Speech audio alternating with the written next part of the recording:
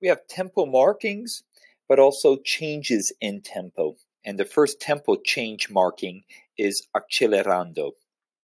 Accelerando means to get gradually faster. And the symbol or abbreviation we're going to use is ACCEL. Ritardando means to get gradually slower, and we're going to use the symbol or abbreviation RIT.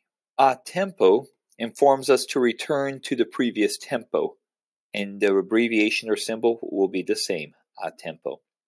Meno mosso means slower, and più mosso means to get faster.